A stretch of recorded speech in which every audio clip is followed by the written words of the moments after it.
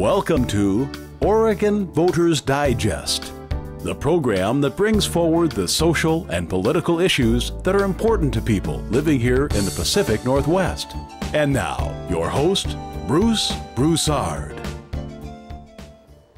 Welcome again to this segment of the Oregon Voters Digest. I'm Bruce Broussard, your host, and folks, we've got work to do. Work to do. As you know, I just got off a campaign piece and tried to get certain issues on the table, and unfortunately, we're not, we may not be able to get those issues um, with me as part of the the quote uh, uh, this second tier, if you will, in the general election. However, we still have Oregon Voters Digest, and boy, I'll tell you, we're on top of things, and we are definitely going to be a part of the of the general election.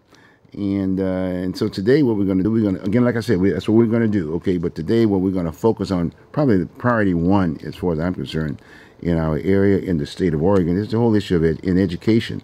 And uh, so it really concerns me about whether or not, in fact, uh, uh, the, the, folks who are going to be running for office and the media and whatever are going to really talk about some of the issues facing education. And so uh, we're going to try to be the point person to make sure that we get that on board. So tell your friends, tell your loved ones, tell your elected officials to hey tune in, or if not that, some, at some point in time we're going to probably open up the lines. We're going to open up the lines and get you to be involved.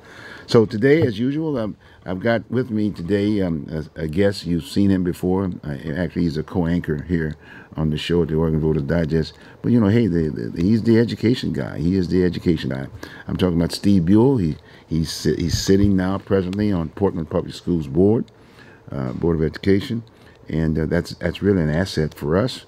And it's an asset for Oregon. It's an asset for Portland, and especially for the kids. Okay, very important.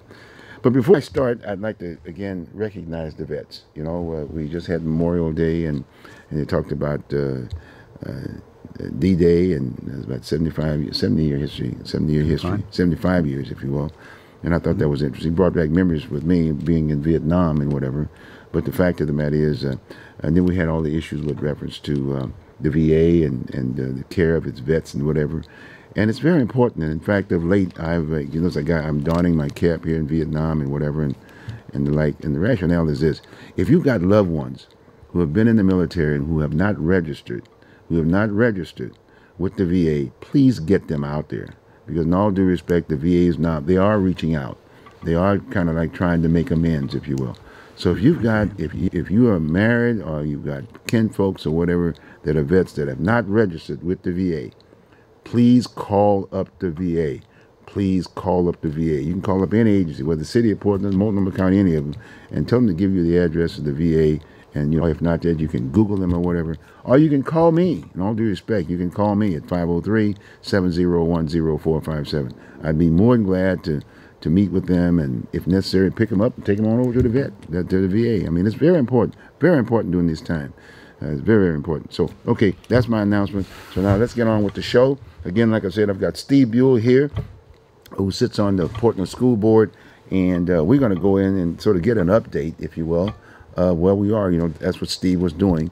And we just got out of the primary election, and again, like I said, I was very concerned about the fact we didn't spend enough time talking about the issue of education within our particular area here in the Portland metropolitan area and uh, and even on the state aspect of it. So that's what we're going to do. We're going to do that. We're going to ask him other questions and whatever. And he's just going to give us an overview of, uh, of what's going on, bring us up to date, and hopefully these individuals that are going to be running for office are going to take advantage of that opportunity. Those individuals are going to be running in the general election, and the media that's going to be covering that piece aspect of it. We're going to see if we can get those issues at the table at the front end, and we could we can we can use your help too. So when those people, when you see those people knocking on your doors and asking you to vote for them or whatever, ask them the point of what about education? What about your kids? What about your grandkids and the like? Okay. With that, Steve, how you doing? Doing good. Good, good, good. Well, did you enjoy the? Let's see, the Rose Festival. Did you go? I, I saw you on. I noticed you on a float or something. Were you on a float? no, no float. Were you on a float? no float. I never made it. You know, it's uh, it's the end of the school year. Yeah. Okay. I have a new girlfriend, and she's Yeah, a school okay. teacher, and right. we're she's kind of uh, same as I was at the end of the school years. Yeah. You, you get tired towards the end. Right, yeah, it's too yeah. bad the Rose Festival doesn't back a couple weeks so you can kind of relax. chill out, That- yes. it was, it's hard to get down there and get up early and Yes, go because yes. you're pretty much exhausted Right, by this right, time of year. Teachers right. are. Well, anyway, but you know, it, it happened, right? The Rose Festival happened. Yeah, and it, evidently it was a good one. It didn't rain. Yeah, and I guess the only other thing, I guess we got another big, uh, big uh, show, uh, big, big parade, if you will. It's called the, uh, was it the Gay Pride Day coming up, and it's unfortunately it's uh, it's doing the same day as uh, Father's Day, and I've always requested them that if they could just move it up the following week, and because you know because fathers is, it's another issue that we have in our community, trying to relate young men especially to their fathers, you know, and, and, and the kind of and the kind of definition that fathers are getting, if you will, in today is very very important. I'm sure you you understand what I'm saying with reference to the school system, whatever. But anyway, so anyway, enjoy that. But I still I still I still offer uh, a, a request to the to the gay, gay gay pride folks on that day that I'd be willing to be a participate on the parade if they moved it another week, and then at least recognize Father's Day. Okay, so with that I made that statement. Let's get let's get down into in the quote. Uh, what did you think? We, we we've had the primary. We're right in the midst of the election, if you will, in that point. First off, just give me just a little overview of uh, of what you thought in terms of the messages and, and, and the and the amount of time that was spent on education as it relates to the candidates and and if in fact the media talked about this. What do you think? I, I think a lot of the people who are running for office that I talked to didn't don't really have a r- very strong background in education. It's uh, they have a tendency to look at the big broad picture, the educational reform mm-hmm. picture, the testing, and think in those terms. Mm-hmm. And what we really need to be thinking in is in terms of how we're educating children in the schools, individual kids, mm-hmm. and the kids in each classroom and in each school. I mean, that's that's, and, and I I don't see very many. Uh, People running for office who are thinking in those terms. what about the media? I mean, that's that's a responsibility because a lot of times they're doing these media forums and, and this, that, and the other, and interviews and the like. I mean, what about a question from them to the candidate? Yeah, I. The, do you think? the media at least at least looks at specific issues. I mean, they talked about the teacher evaluation here the last Mm-hmm. the last week. They they do talk about Common Core. They look at the issues, but they have a tendency to look at them again in the broad perspective. Mm. I mean, if you really wanted to teach kids to read, and you wanted to say, let's go out to King School Mm-hmm. and teach every kid in King School to read, and you wanted to make sure they were reading grade level, or fourth grade, you're reading fourth grade. First thing you do is figure out what that means.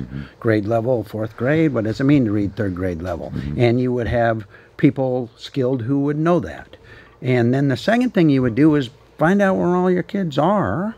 And the next thing you would do is work like heck to get them up to grade level. You wouldn't send off to some test testing company in New Jersey to send you some overall test that is going to somehow maybe work for your kids. You, that's not what you would do. And and for me, that kind of encapsulates the problem that the people in the candidates have and the people in government. They want to do this system instead of getting down and educating the kids that need to be educated. I mean, if you send your child to school and your child can't read, and by the fifth grade your child still can't read, there's a problem.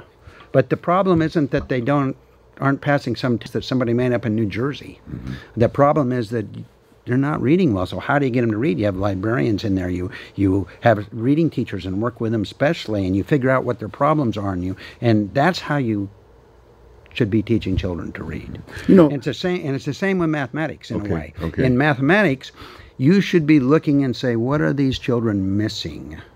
As you go along, I mean, you're teaching along, but you still are looking and saying, "Geez, this kid can't do, he can't divide, or he can't do fractions, he can't add fractions or or subtract them, he can't multiply and divide." And you figure that stuff out as you go along, especially kids who are behind. And, then- and so that that's what I think politicians miss. Okay.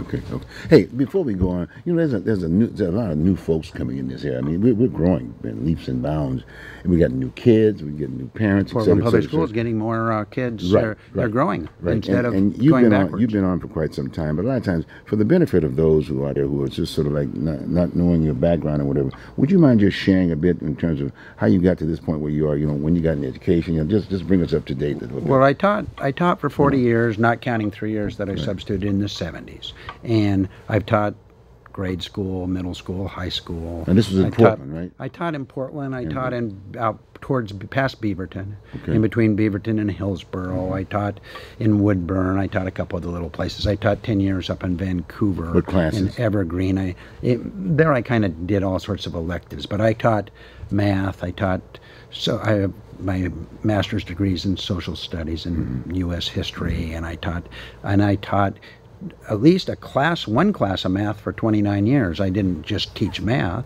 but I taught at least a math class. Mm-hmm. Another thing that I've done in the last couple of years is I helped found an organization called Oregon Save Our Schools, which is really a protest organization and is really saying, look, what we're doing doesn't make sense. Let's do something that does make sense. And the testing, we don't think the testing makes sense. So those those things kind of brought me together. I was on the Portland School Board back in 79 to 83 and then I decided, you know, it's a good place to contribute education wise. And so I ran and won. Thanks to the teachers Right, right, in Portland, right, you know, and as a teacher, I understood the teacher issues, and the school board still isn't responding to the teacher mm-hmm. issues. They're still not sitting down with teachers in Portland and saying, "Look, what is what are the problems out here in the schools where you work every day, mm-hmm. every day?" Mm-hmm. Uh, somebody down in the the BESC, the Blanchard building, they're not out in those classrooms every day. So they should be asking the teachers and asking the principals, what's going on? What can we do? The problem is, it, and they kind of seem to, to me, they being a lot of administrators, not just in Portland, but all over, seem to have the same problem the political people do.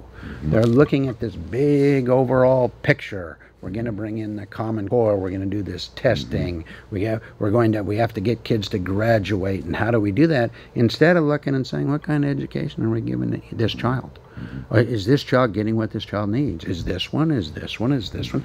You can do you can do that. You have 25, 30 kids in your class. You can think in those terms, but we don't think in those terms. Okay, you just touched on it a little bit, but let's let's define again for the for the viewing public. Uh, let's define Common Core. How, one, uh, how did it originate, and how did it get to Portland? Or how did it got how did it get to the state of Oregon, and and, and how far is it implemented in the school system, and more specifically Portland? Well, Common Core basically is a is a set of standards. So they're saying, okay, here's what you should teach, Okay. so to speak. It's a standards. You should teach this. Now, there's a mix-up in that the standards and what you teach really are pretty much the same thing, but they want to say it's different because it's against the law in the federal government to do a national curriculum, a curriculum where you ask everybody to do the same thing. It's against the law. So reading, writing, and arithmetic, But all no, I mean the curriculum itself. What you're teaching, you should be teaching just these things, and it makes hmm. it, that made sense for a couple reasons. One, different parts of the country want to teach different things. Maybe I mean, shouldn't we be teaching Oregon history here? But probably not in Vermont. Uh, we're not teaching Vermont history, but they probably are in Vermont. So a national curriculum doesn't, in a way, make sense. But it also doesn't make sense in that one of the strengths of America is the the variability, the diversity. Those are strengths. We look at those as strengths, not as weaknesses. And so, if you want to make everybody in the third grade have this same exact same stuff, that's not necessarily the way that we should be going anyhow.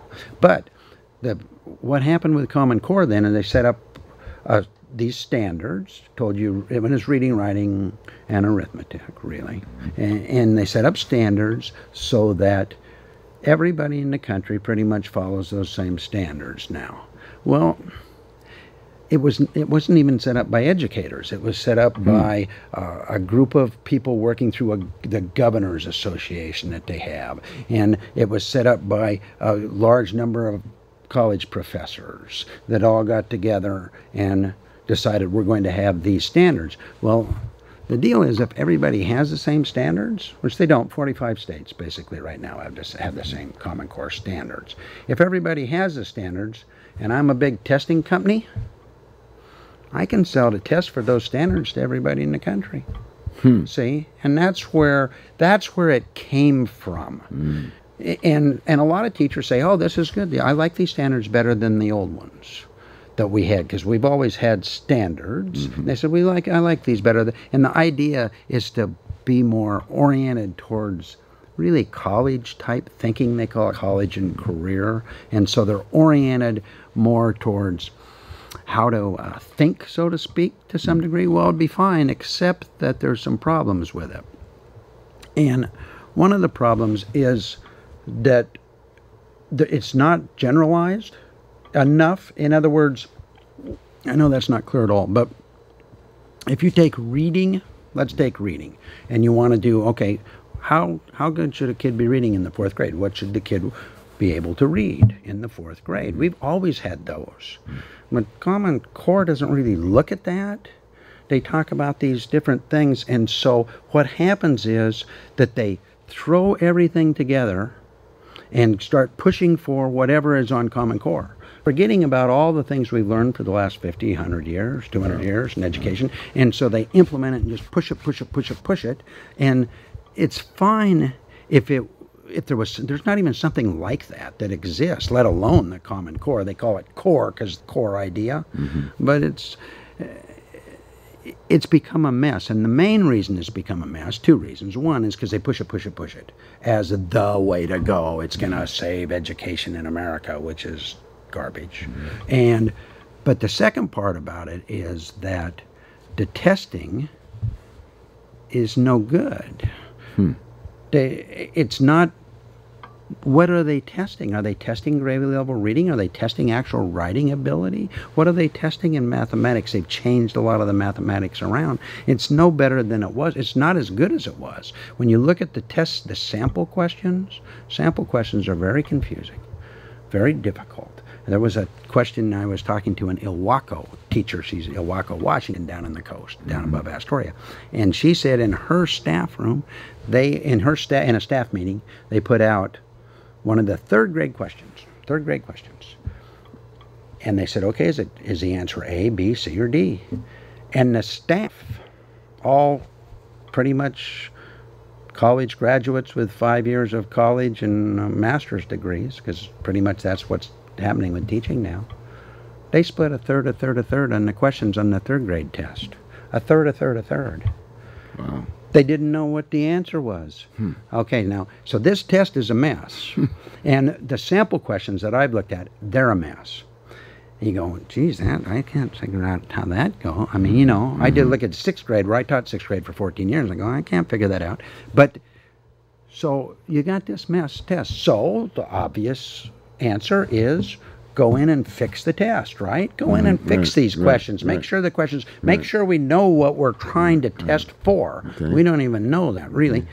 What is the problem? No one, you can't look at the test. No one in Oregon can look at the test to see what's on the test. So we bought this test from, you know, big, huge comp- corporate corporations. Mm-hmm and we're bringing in and we're using it to label schools and say your school stinks if you don't get good scores in this test.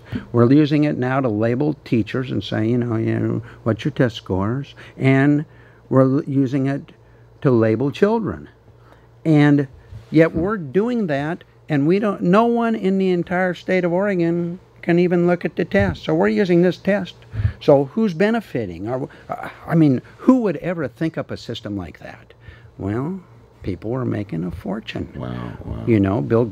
Now that they put the whole thing on computer, Bill Gates put over a hundred million dollars evidently into it, mm, and so now you have to buy more computers all over the country, and at twenty-seven dollars a whack just for the test. Let alone now where you just for the kid to take tests. That's what I'm not positive of that number, but I think it's pretty close to that. Mm-hmm. Twenty-seven dollars, and so every kid in America practically, other than the five states that didn't do it, they're paying. They are, this money is going for these tests, which are on the computer.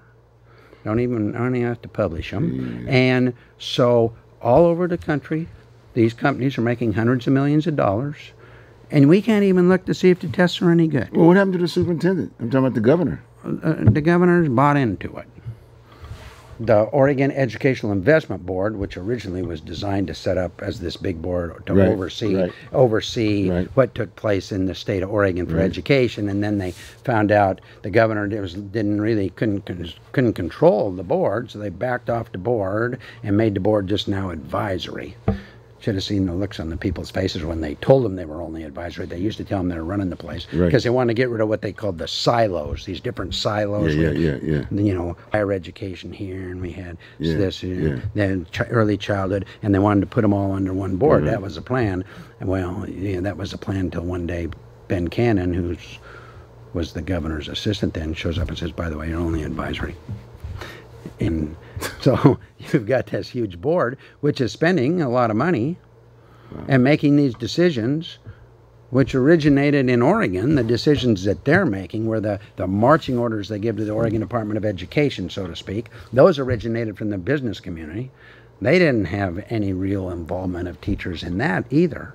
Hmm. So you've got these not only these national movements pushed from people who want to make a lot of money, but we're doing it in Oregon too. These these the Oregon movement. And so if you're a going back to the original question, if you're a political person in Right, right. If you're a political person in Oregon, Right. you ought to look at that. yeah, exactly. And the first thing you ought to do is say we need to sunset the Oregon Educational Investment Board. Just sunset it. It's, going to sunset unless they vote for it. But that's vote number one. Just get rid of it. Mm-hmm. It's not set up to work. It doesn't work. I've been at every meeting I think but two. It's in the last two and a half years that they've had at the actual board meetings for. Mm-hmm. And it- I'm telling you, it's really bad. I mean, I, every every meeting I write a thing out to the Oregon Save Our Schools people that's uh, uh, i i it's just a cynical. You just laugh at them. Is there are there any indicators like uh, hey getting rid of it from the? You got two people that are running for governor this time around. Okay. Yeah, you got two Dennis people, Richardson, you got yeah, Dennis, and you got. Uh, I don't think either one of them. uh, Certainly, Kitzhaber isn't going to get rid of it. It's his board. He, Yeah. Ki- Kitzhaber has a real serious problem. So does Dennis Richardson. Might Yeah, yeah. you know, and Dennis Richardson's the guns in the school guy. I think Uh, Kitzhaber is the eh, Kitzhaber just doesn't have a. He doesn't understand education. He really believes that you need to test the kids and get this accountability system going, as opposed to having schools really look at each child. and Say, okay, now what does this child need? This child's two years behind. What are we going to do? But he hired Crew not too long ago. Oh, yeah, Crew, he was great. was, was, Yeah. he was, was Crew coming down and talking to you guys and Oh. saying, "Hey, I mean, this is what I'm. Here's the plan." And He- he had no plan. He had no plan. He had no plan. He, he didn't have a plan. Uh, they, they don't have a plan. But what they what they do instead of actually having an educational plan, they have this one that came through the business community mm. that the when they sent out to public meetings all over the state, it was totally panned. Nobody liked it. Mm-hmm. Nobody. Not, mm. not a. Mm. You know, they had five people I think out of eight meetings that actually said, "Oh, this is a good plan." Everybody else was a stupid plan. And so this plan has been given to the Oregon Department of Education, hmm. and that plan isn't that plan doesn't really deal with children in the schools very well. But you have an educator now, the, the new replacement for yeah, Crew. Rob Sack. Well, Yeah. well, you have gal. Nancy Golden. Yeah, right, Nancy. A- And and is she- she's a how's she nice she's a nice enough woman, and she goes out and says this. But I've sat and watched her. Mm-hmm. And there's no real pushback about. Let's do some things that actually make Mm-hmm. sense for children, as opposed to things that look good. Hmm. We were kind of the look good. I wrote a piece in on my Steve Buel, comma Portland School Board member Mm-hmm. Facebook page, and it said, you know, what we do is finesse the problems. And I was talking about Portland Public Schools, but the state is the same way. We finesse through the problems, makes us look good, and oh, we're oh yeah, we're, we we believe in this. You know, uh, one perfect example is is the equity policy. And Portland Public Schools has an equity policy. equity? What is- Uh, well, equity is is dealing with underserved kids. Okay. Uh, making sure they get as good education as everybody else. And uh, we have an equity policy, and we actually take eight percent extra and push it into schools where there are kids who that they're referring to as underserved. Four percent for underserved, and four percent based on uh, kids of color. And so we actually, you know, you actually do that. We do that, but we don't go, what's this kid need? Hmm. We still are generalizing. We're out working with adults, trying to get adults to be less racist. Well, that's nice, but really what we need is for those children to learn better. And we need to train adults to work better with children who are of different backgrounds hmm. than theirs, who don't come with the same, where they come with this disparate background. You have a kid who who is struggling and a, and a, and a teacher who never struggled in her life or his hmm. life, you hmm. know. But somebody like me who came out of the hmm. Tillamook and comes up, yeah, it's good. Give me some help in dealing with this kid. We're getting kids from Syria now. Okay, Syria, and you know you can always predict what kids we're going to get. We have huge numbers of kids from with foreign countries as backgrounds, and we're getting kids from Syria. Well, this what is a Syrian kid? I mean, are the what do I need to know if hmm. I have a kid from Syria in my back in my in my classroom? That's where you should be helping me, not whether I'm prejudiced against hmm, Syrians. Hmm. Do I like or dislike people from the Middle East? Well, I'm sure there's people out there who are prejudiced against people from the Middle East. But, you know, but we- I mean, do we? S- i- i- Is that the is that the focus? Is Okay, let's take okay. those kids, or is the focus how do you work with these children Right, from okay, Syria? And school teachers in general are pretty good about uh, working with kids of different backgrounds in terms of being willing to do it, Mm-hmm. but they don't necessarily have. What did I know from Tillamook about a kid from Syria? Yeah, but I'm thinking about since I've been here, you you heard this business about achievement gap. I mean, it's, it's like the Bible should be here. Look like we should have all the answers about achievement gaps. I mean, to date, what's what's the problem here? Well, my thing, feeling of the problem is that we're not down dealing with the kid on the kid on the level Okay. in the classroom.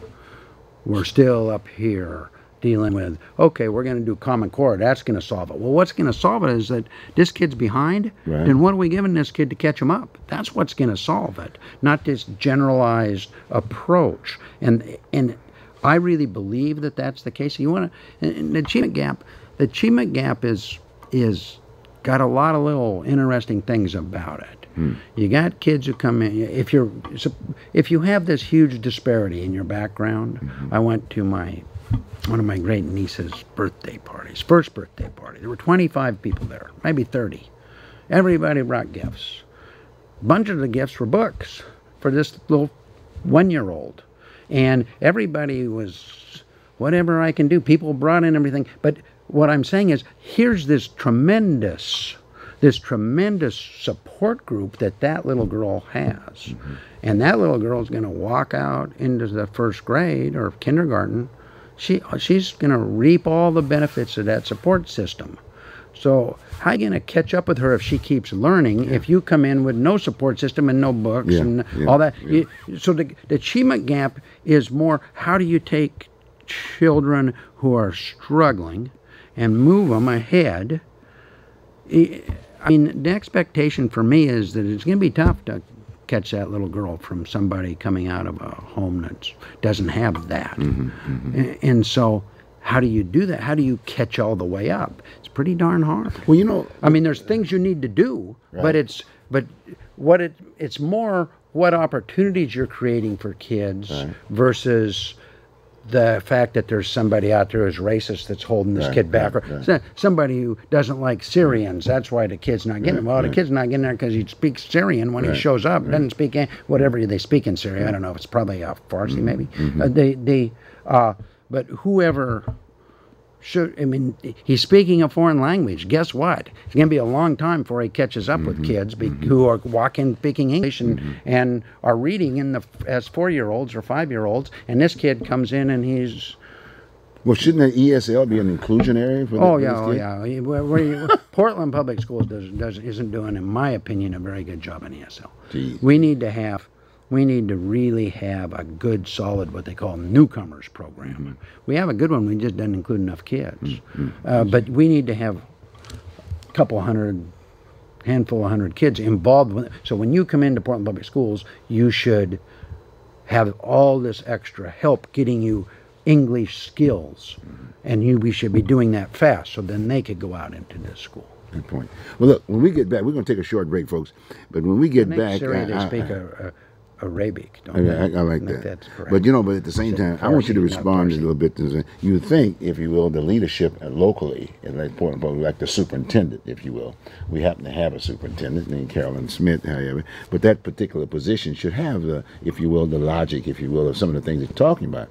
I would think they should be, they- they should have that kind of a background to be able to communicate, if you will, whether to the board and or to the to the to the whole organization. They are the CEO, if you will, of the organization. Well, anyway, hopefully you'll comment on that when we get back. We're gonna take a short break, folks. We'll be back with Mr. Steve Buel talking about education.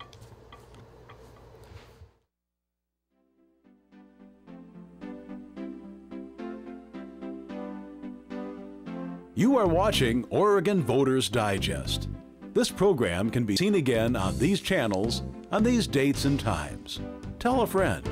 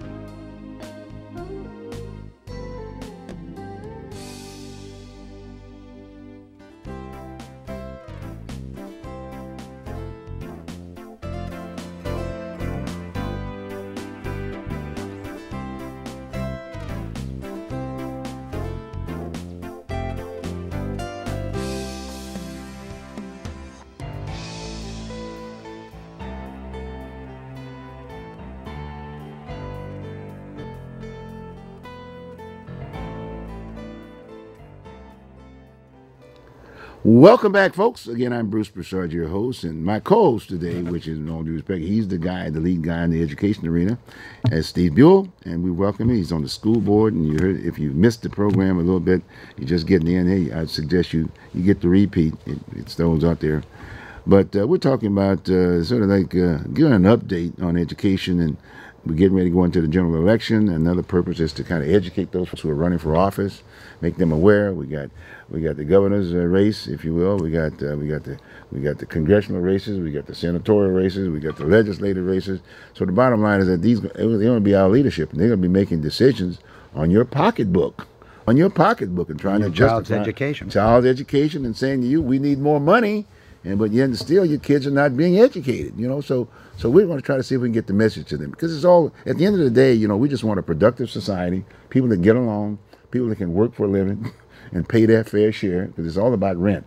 Because anyone who doesn't pay their rent, guess who? Uh, you have to pick up the tab. Okay. So in it, on that note, I got Steve here. We were talking, and uh, and right before I right before we broke, I was talking about the, the the you know just where we should go, et cetera. And I was asking him the question about the superintendent. This is the definition. There's superintendents all over the state, but here in the Portland Portland Metro area, we got Carolyn Smith. She just recently got a raise too. You guys gave her a raise. Haven't given her a raise You- yet. You gave her Haven't a raise. voted on it yet. You gave her a raise, and, and Haven't I- voted on it yet. They're gonna give her a raise, but I'm not this, gonna vote that, for it. And listen to this, this, that, and the other. She should be very knowledgeable about the, some of the things that you were talking about when we were talking about the first half of the deal. So, well, what do you think? I mean, um, is is that position really- working and helping out with, with some of the concerns that we're here sitting here talking? That, And we're not talking about her personally. I Understand know. Well, I. I, but the I- I position. never- but I the need to talk about her personally Okay, too. I okay. like her Yeah. as a person. Yeah. I don't hardly know anybody who doesn't. Yeah, I mean, she's a wonderful person. The, the problem that I see is that she has got a school board, which basically she works for. Right. And the school board's directions that they go are all messed up. Mm-hmm. And so if your school board's directions are messed up and they're telling the superintendent the direction to go, it's pretty hard for her to have a good, solid, straight direction because the school board is messed. So I, if the school board changes over and let's say they had four different people or five different people, and those people weren't we're thinking more in terms of good education for kids mm-hmm. versus other issues that end up taking place at the school board, then Carole Smith might be a really good superintendent. I don't know. Hard hmm. to see. Hmm. And so, I, so the jury's still out. The, a lot of the directions that she's gone so far have alienated and irritated people. Mm-hmm. The, the, I mean, the, the teacher negotiations was horribly handled, but really she didn't get in till the end. And when she got in, it actually seemed to get a little. I mean, it got a lot better. Mm-hmm. But but she was also, in a way, the school board and her were in charge of deciding what they were doing. And for months, they didn't do anything that made any sense. I mean, I sat in those back rooms all the time going on the executive. So who sessions. was leading the charge? Was who knew? Nobody knew. no, I didn't know. I, I was sitting in the in the executive sessions and mm-hmm. watching it all, and I didn't have any idea who was in wow. charge. Wow. I had no idea. It was totally dysfunctional, in my opinion, mm-hmm. and that went on for months. Hmm. And then the funny part is that people will tell them, "Oh, you did a good job because it only took 10 months and look at all that you accomplished." Well, A, we didn't accomplish that much. Really, little things we didn't really have a big thing that we accomplished other than settling the contract mm-hmm. without a strike, mm-hmm. which we almost had. Mm-hmm. First one in the history of Portland, which would have mm-hmm. been a national, big well, national, huge. big was, deal. Yeah, and, and it, we just fooled around with it for eight months, and then we went crazy for two months as hard as we could. And during that time, the everything shut down. Whole school system shut down hmm. basically because everybody was so busy doing that we didn't. So what did we accomplish with that piece? Did uh, we accomplish anything? Well, we ended up with a contract. Right. Uh, the, but from the kids' standpoint. The one, oh, from the kids' yeah, standpoint. Did, did, we accomplish anything? No, we fought against a lot of the things. We, meaning the school board and mm-hmm. superintendent, fought against a lot of the things that the teachers wanted to do that wow. would have would have helped kids more. Mm-hmm. But the one thing we kind of accomplished, excuse me, was that the we're now hiring a little faster. Mm-hmm, so that's that. a good thing. So, so, we're hiring a little faster, but we're not hiring as fast as we need to hire. Mm-hmm. But we're hiring a little faster. Other than that, they they meaning school the school board and administrators and people talk about well we mm-hmm. accomplished mm-hmm. this, but mm-hmm. I didn't think we accomplished you, you know, you, you, know, the other thing as I as I hear you speak, I'm, I'm thinking about the the failure thing. I can remember that there was a confusion state from a historical standpoint with the board at one point in time, and there was a Elaine Cogan. Remember Elaine? Mm, yeah, I Elaine Cogan. I remember Elaine coming to the to the board, and she was a consultant there for for a bit, a bit. And one of the changes she made, I thought was very effective.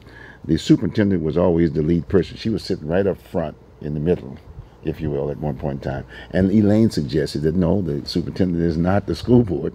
People, she should sit on the side, mm-hmm. and, and, that made a lot of sense.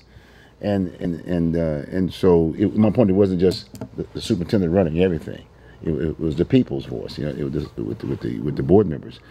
And so, but she was giving some advice, et cetera, et cetera, et cetera. Do you think something like that would, uh, now I'm not talking about just that, but the fact is, with Elaine's background and that, that kind of a person's background, to be able to sit down at the table and getting the two factions together, to, and she represents the kids in the classroom and whatever, and say, hey, blah, blah, blah, blah, blah, blah, blah. Would that be an impact? Would, I don't think it have any, I don't think so, because the school board general uh, uh, rationalizes what they're doing. Hmm. I've been talking and talking, talking and pushing and pushing, that, trying yeah. To do, yeah. trying to have us run like a government body right. should run, right. okay. with open decision making, transparent, right. those types of things. And I just, you know, might as well be talking to the curtain over there. Wow. I mean, they don't, they they don't seem to get that part. Mm.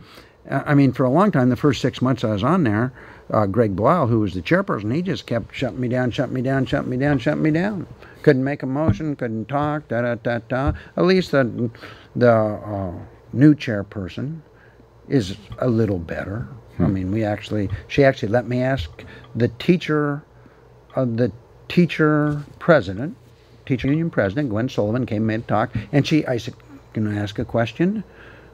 And it used to be, no, can't ask a question. Last time she no, can't ask a question. You can't ask the teacher union president a question in public. But she actually let me ask the question. So maybe they're making, maybe they're getting better. Who knows? But I mean, it's nuts.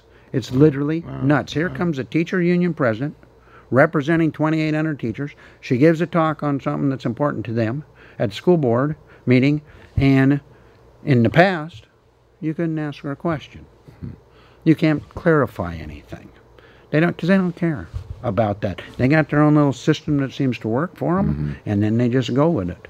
And too bad if you don't like it. It has nothing to do with good government. Mm-hmm. It all has to do with centralizing the power and the decision making around those really there's four board members now basically that are kind of acting as a Well, you know, you, you and I, we've had our little disagreement in regards to the districtizing. We, it, is a districtized system, uh, but yet still it has to run citywide. And, Yeah, and yeah, in, well, in I the don't- past, but yeah. my point is that, but my point is that, is that you need money to run citywide. You know, and you know, you Bunch need big, big money, and maybe depending on the situation. But yes, if you have anybody who's pretty good, like uh, uh, Pamela Knowles, who's now the chairperson, then no one really ran against her Yeah, because she can get the money. She can get the money. She can get She the can money. get the money, and, and then I'm thinking about so so who's going to be thinking about the kids? So so it's like this controlling element was sort of like identifying with the, the school board, you know, because they know people can't run state citywide.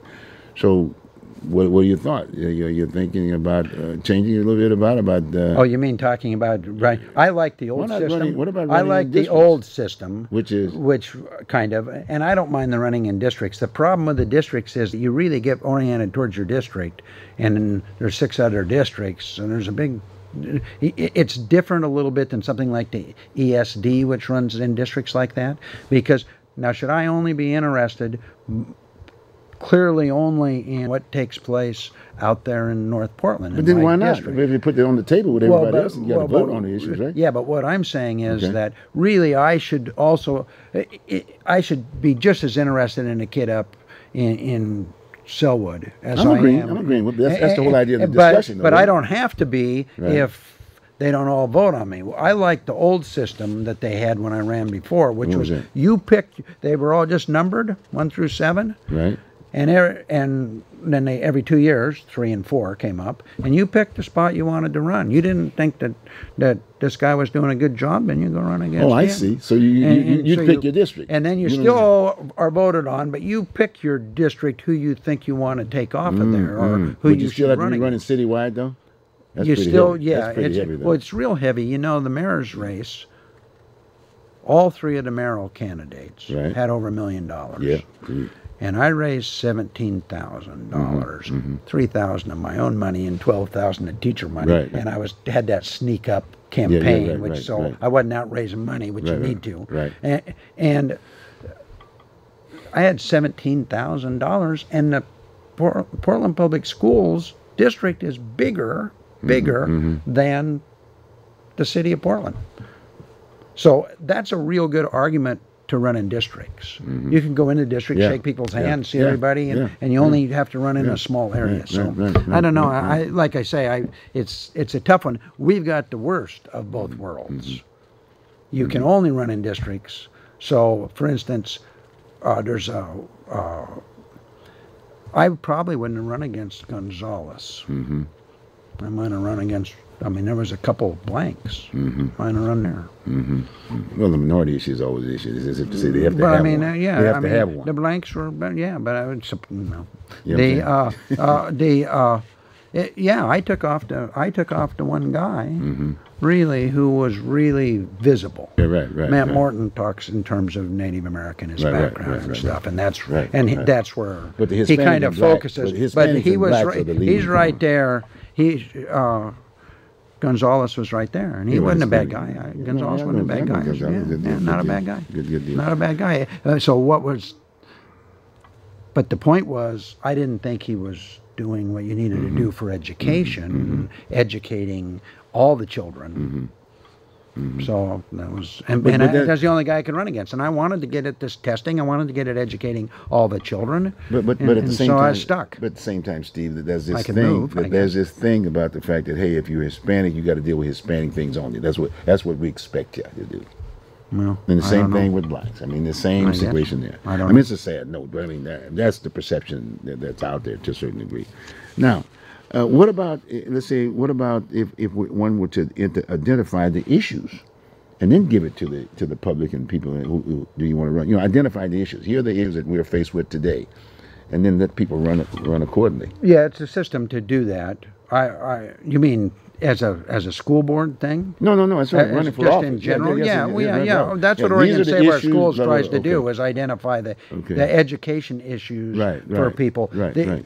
Here's big issues, and you, even getting into little fights over what the issues Yeah, are. right, right, right. But but it's a- yeah, yeah, yeah. identifying the That's a- that's issues. That's one of the things that we're trying to do in Oregon and then, and then educational background. When I think about you, I'm thinking about all the other, other school board members. How much how much history do they have in the in the in the classroom uh, of, I- of the people that are there? How many? Well, Bilal taught a year, I guess. That's a year, okay, then. Yeah, years ago, and taught music. How about the rest and uh, Pamela Knowles substituted, I think, a year. Yeah, but and going. then, well, Matt Morton runs a school. I'm talking about the classroom now. I'm talking Well, about in the classroom. I don't know. I don't think he was Okay, how about in the the, classroom. No, not that I know See, of. I'm, But uh, but it, you- it, it's nice to have that background. But maybe it's, even it- just it- half, even it- just half. You know, business in there's there. things that I don't know about as an educator. Yeah, you know, right, I'm right, not really a good right, business right, right, person. right, right. Or, but But have a business But but the point, what bothers me about the whole, the backgrounds of the people is they'll say one thing and then won't do anything about it. There's power on the board. You can. There's Yeah, basically oh, this four-person block that can do what they want. Hmm. So they'll say, "Oh, we don't really like the testing." but Hmm. nothing gets done. Or we think that we should be dealing better with children out in the schools, this Mm-hmm. equity thing. But they it ends up with adults, not with kids. Hmm. Things don't get done because they could do it if they wanted because they have the four votes. That's all it takes. Give me the four votes and we'll change around, Mm-hmm. Right, man. right, Well, right, there will be things that we will be doing. Be- To begin with, we won't have. Uh, hopefully, we won't have the. We've got a little principal problem in in terms of. I still get teachers all the time telling me how about these things their principals harassing them and causing and and giving them a real hard time and not listening to them well they had the tell survey where you did you see the any of the, the what they called the tell survey they surveyed they surveyed This teachers evaluation thing. It- well they surveyed teachers all throughout the state Okay. and you can go to I think it's OregonTell.com, Okay. everybody? And, yeah, and, and if you go down to, to, they had a survey of teachers, and on there is every school that was over 50% Hmm. of their teachers responding. Mm-hmm. Okay, well, there's two questions down there. It's if you go down to they're in sections one, two, three. Seven point one section, questions two and three, and questions two, question two was similar to this. They said, "Do you is there trust and respect in your school? Meaning for your principal, Yeah. the guy who's a friend of mine who was principal of the year in Alice Ott Middle School, by the name of Where's that at? it's out in, in it's a big middle school in a really poor part of David Douglas. Mm-hmm. And he was principal of the year. He's, he had really high test scores. He did Mm-hmm. stuff. I've been out of school and visited. Great guy. He had 98% agree or strongly agree on that there was trust and respect. Okay. Well, we got school in Portland that got 0%.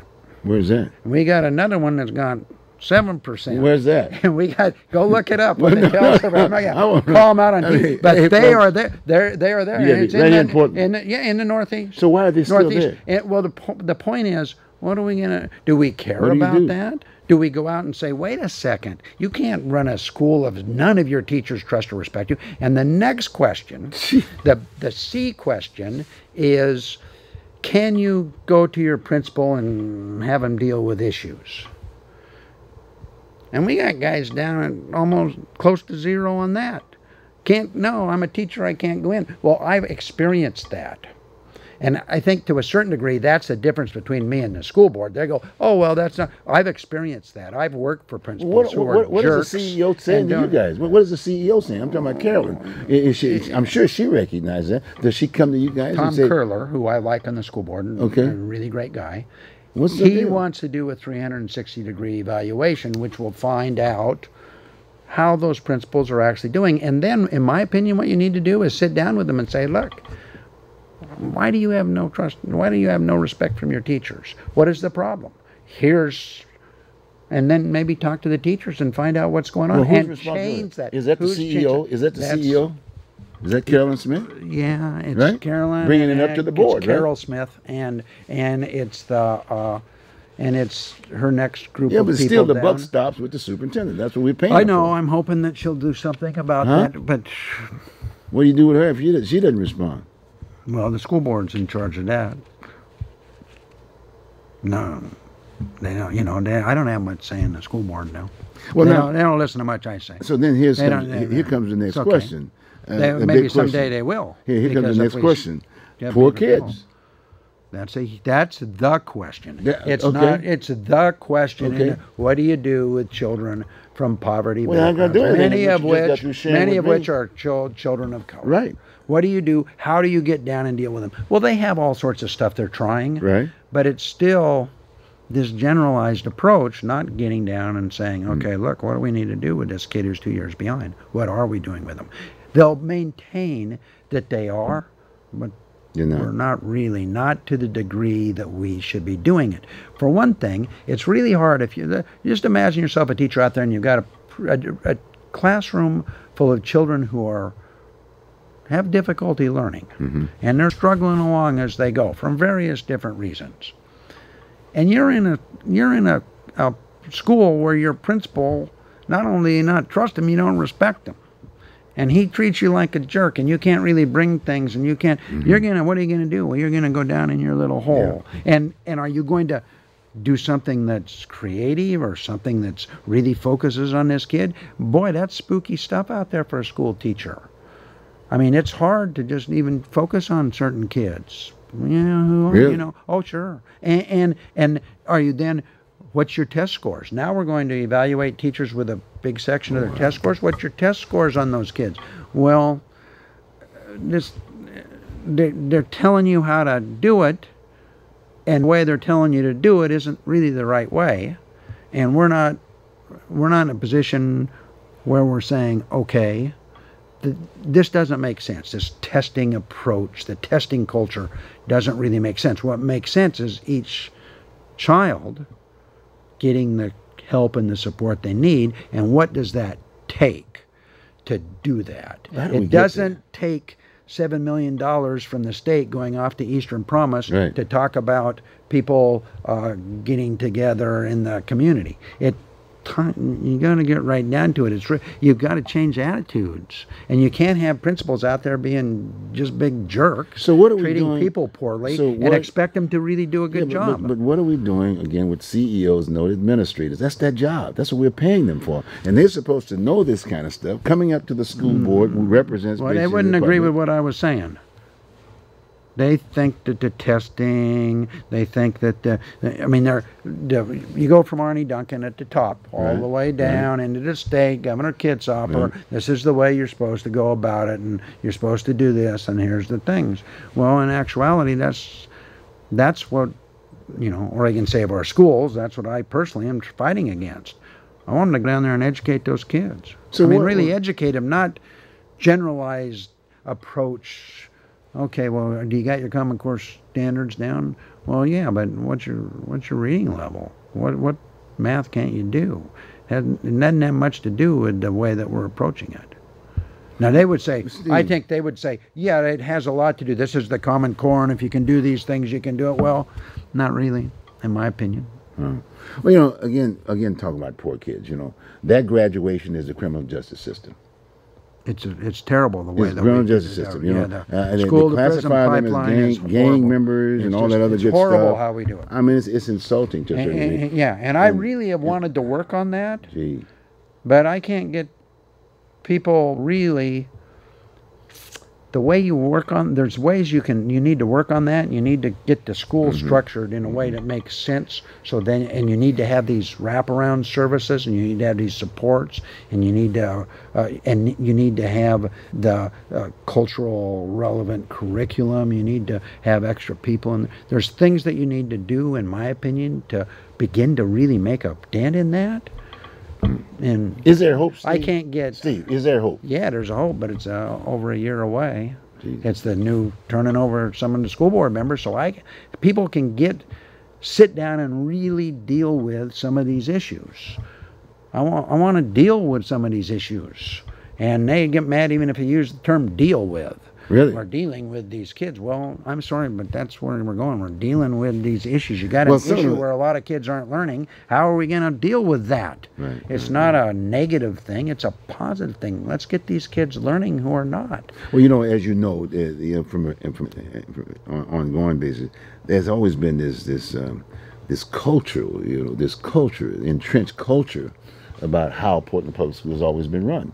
I mean, you, you even asked the question about what about voc? You got voc outside the Portland Public I know. Well, that- yeah, you that was- no voc at all. No no blue collar. I still They remember. had a little bit at Franklin High School, You know what I'm saying? but It- it the middle schools we've decimated. them. And I can remember that time, you Critical know, area. and had Vera on the show, and I mean, I could Vera, I'm talking about the mayor, and this big push about college, and dropping voc well, yeah. I mean, seriously, dropping Yeah. voc ed. I mean, that was just during the time that PCC comes in, right? The community college, and they just take the voc ed out of that whole deal, and all those kids are, in all- many ways, right now, at PCC, and the law states that during those formative years, that child's supposed to be getting the best education that money could buy. So at the end of the day, they can get out on their own. If they want to go to college, they can, blah blah blah, routine or whatever.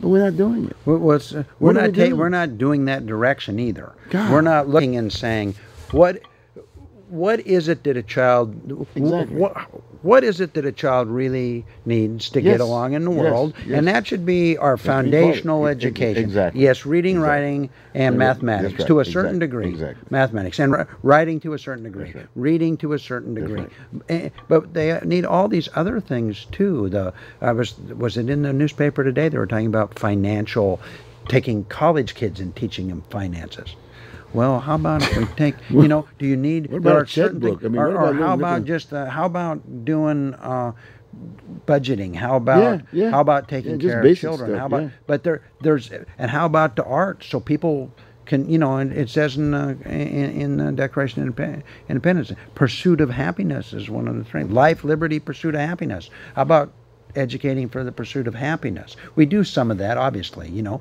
but we've got this gap in the middle, this middle Mm-hmm. school, middle age kids. No, we just that's where the problems Mm-hmm. really start. Yeah, it starts if you can't read, but we can we can identify who can read, Right, and we can right. give them a whole lot of extra Right, help if we would if we would get on it. That's the first step. We would get on it, but when you get to that middle school, we're just we're losing them.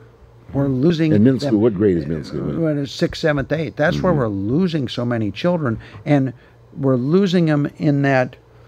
We're losing them in that. It's not just that it will work if you say had sports and stuff to do at that age.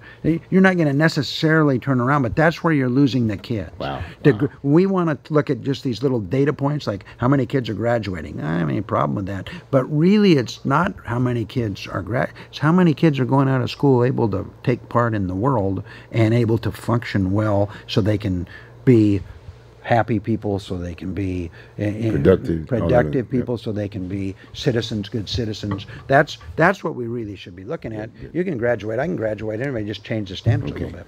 Steve, thank you. On that particular note, we're going to close, folks. Hey, those who are running for office, get on them. Those who are not running for office, get on them. folks, we got a, we got a crisis here. Hey, take care. I'll see you next week. We want to thank Steve again. It's very important. Our kids, our education system is very important. Take care. I'll see you next week. Take care. Bye.